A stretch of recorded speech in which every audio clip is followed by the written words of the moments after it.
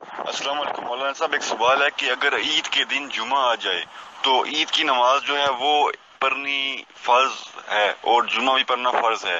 तो अगर इन दोनों में से अगर बंदा एक पढ़े, एक ना पढ़े, मैंने पिछले साल एक आलम दिन से सुना था, उन्होंने हवाला तो नहीं दिया था हदीस का, लेकिन उन्होंने कहा था कि इन दोनों में से अगर आप एक पढ़े ना तो हो जाएगा। मतलब एक फ़र्ज़ हो जाएगा, दूसरा फिर ना पढ़े तो गुना नहीं है, पढ़े तो स्वाब ना पढ़े तो गुना नहीं है। तो इसकी कोई दलील वगैरह है? अस्सलाम वालेकुम वबरकातुहू। एक भाई ने सवाल किया है कि अगर ईद वाले दिन जो है जुम्मा आ जाए तो क्या फिर उस भाई ने तो जिस तरह सवाल किया है कि उनमें से एक पढ़ ले तो क्या दुरुस्त है? तो ये भाई की गलत फहमी है। असल में ये है कि जब जुमे वाले दिन ईद आ जाए तो फिर इंसान जुमा की नमाज़ छोड़ सकता है, ईद की नमाज़ पढ़ के, यानी कि ईद पढ़ ले, जुम्मा छोड़ने की रुख्सत है। इसके दलाइल कुछ, मैं आपके सामने ज़िक्र करता हूँ। सुनने अभी दाऊद की रवायत मुबारक है, एक हज़ार सत्तर, दस सत्तर नंबर अदीस मुबारक है, सुनने अभी दाऊद के अंदर। माविया बिन अबी सफियान रज़ी अल्लाह तहो ने जैद बिन अरकम रज़ी अल्लाह तहो से पूछा कि आपने क्या रसूलुल्लाह सल्लल्लाहु अलैहि वसल्लम के साथ जो है, दो ईदें जमा की हैं किसी एक दिन के अंदर। यानी कि जुमा भी हो और ईद आ गई हो उस दिन, क्या आपने ऐसा कोई जमा किया है नबी वसल्लम के साथ? तो जैर बिन अरकम रज़ी अल्लाह तु ने कहा हाँ। तो इस पर माविया बिन अबी सफियान रज़ी अल्लाह तुमा ने पूछा तो आप ने फिर क्या किया था? यानी कि जुमे वाले दिन ईद आ गई थी तो क्या किया? तो जैद बिन अरकम ने कहा कि रसूलुल्लाह सल्लल्लाहु अलैहि वसल्लम ने नमाज़ ईद अदा की थी, फिर जुम्मा की रुख्सत दे दी थी और फरमाया कि जो शख्स नमाज़ जुम्मा पढ़ना चाहे, पढ़ ले, लेकिन ज़रूरी नहीं करार दिया। इसी तरह जो है, सही बुखारी के अंदर भी जो है, हदीस मुबारक पाँच हज़ार पाँच सौ बहत्तर नंबर हदीस मुबारक है, जिसमें यह है कि ये एक रावी हैं अबू उबैद मौला इबन अजहर। बयान करते हैं कि मैंने उस्मान बिन अफान रज़ी अल्लाह तहो के साथ ईद पढ़ी और वो जुमे का दिन था। तो उन्होंने खुतबा से कबल नमाज़ पढ़ी, फिर खुतबा इशाद किया और फरमाया, लोगों बिलाशुबा इस दिन दो ईदें जमा होती हैं। यानी कि उन्होंने ईद पढ़ी, ये ईद मराद है कि खुतबा से पहले नमाज़ पढ़ी, खुतबा बार में दिया, ईद पढ़ी।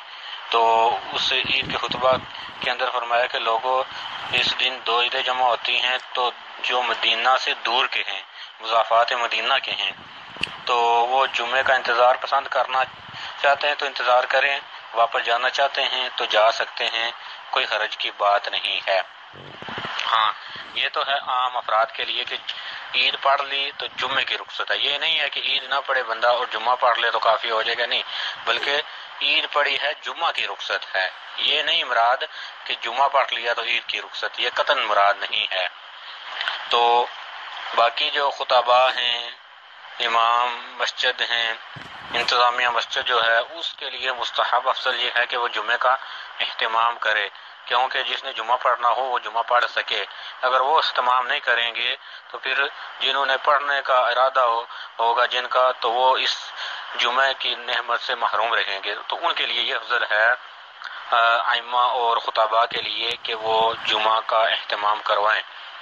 इसकी भी दलील जो है, सुनने भी दाऊद के अंदर एक हज़ार तिहत्तर नंबर जो है, हदीस मुबारक है। सईदना अबू हरारा रज़ी अल्लाह तु बयान करते हैं कि रसूलुल्लाह सल्लल्लाहु अलैहि वसल्लम ने फरमाया, कादी जितामा फ़ी यौमिकुम हाज़ा ईदान, फमन शाअ मिनल जुमुअति व अना मुजम्मिउन फरमाया कि बेशक इस दिन दो ईदें जमा हुई हैं तो जो शख्स चाहे तो इसे, यानी कि जुमा से कफायत कर जाएगी ईद। यानी कि फमान शाहजदाऊ ये ईद जो है, उसे जुमा से कफायत कर जाएगी। यानी कि जो ईद पढ़ ले उसे जुमे की ज़रूरत नहीं रहेगी। लेकिन अपनी ये कैफियत बयान की नबी वसल्लम ने फरमाया, वाना मुजम्मिन और फरमाया कि हम जुमा मुनद कराने वाले हैं जुमा पढ़ाएँगे हम।